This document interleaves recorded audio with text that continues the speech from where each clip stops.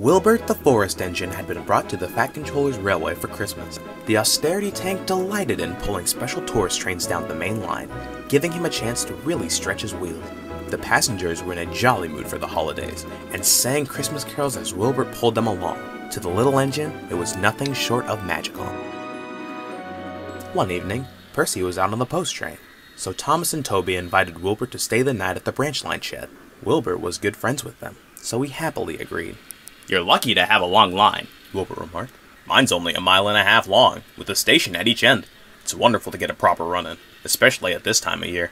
Yes, indeed. The Christmas season is a great time to be an engine, though the passenger singing can be a bit much. Wilbert chuckled. I don't mind it one bit. The passengers are singing out of happiness, which I've found can be quite contagious. I couldn't agree more, Toby cut in. Henrietta and I love hearing the passengers singing their carols. There's no feeling quite like it. There really isn't. I should know. I used to work in a steelworks. It was a miserable job. But each year around Christmas, all the workers would hum jolly tunes, and they'd even put a little tree in our shed. It brought us all a sense of happiness, something rare around those parts. Wilbert smiled, remembering, before his expression suddenly changed. Although, there was one engine who still remained bitter during the holidays. Thomas and Toby eyed him with intrigue. Who was this engine?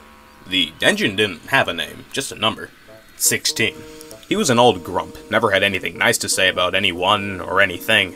No one exactly knows why he was so cynical. Personally, I'd put it down to a general discontent with where he'd ended up in life. He was rude to anyone he came across, always dragged down the mood wherever he went, and his work ethic reflected this. To put it kindly, 16 could never find the proper motivation, though most just called him lazy. Lazy and reckless a combination that always leads to disaster.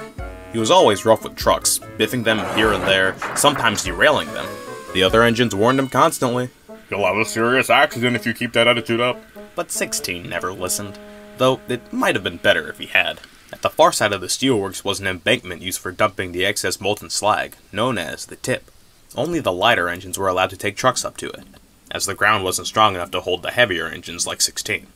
Well, the careless engine never liked being told no, and had always wanted to venture up there just to prove a point. And one cold and snowy day, he got his chance. The points had been set to the embankment. 16's crew couldn't see the snow, but 16 very much could. He charged up the slope and onto the tip. His crew were horrified. What have you done, you stupid engine? It's not safe up there! Pooh, I'm just fine here. Nothing bad's happened, has it? No sooner had those words left his mouth, the ground beneath them began to suddenly shake.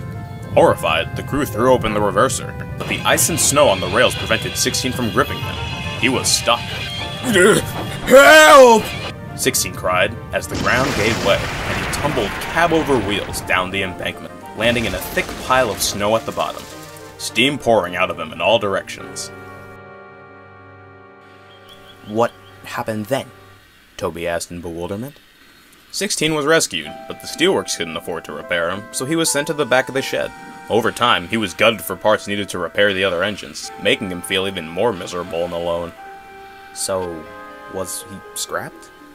Nope, Wilbert answered. He came close to it, and thought for sure he would be. But at the last second, he was bought out by some preservationists around Christmas time. They repaired him back to working order, and now he works on a heritage railway pulling passenger trains back and forth. He was lucky. Got a lot better than he deserved. Oh my, he sure did. That's nothing short of a Christmas miracle. Have you seen 16 since your steelworks days, Wilbert? Thomas asked. I haven't, Wilbert answered. I left 16 and that steelworks far behind, and I think that's for the best. Thomas and Toby could only agree. The three engines talked for a while after, and soon Thomas and Toby were fast asleep. Wilbert, meanwhile, stayed awake a little longer, gazing thoughtfully up at the night sky. Yup, it certainly was a Christmas miracle, wasn't it? Wilbert said quietly, before he too closed his eyes and fell peacefully asleep.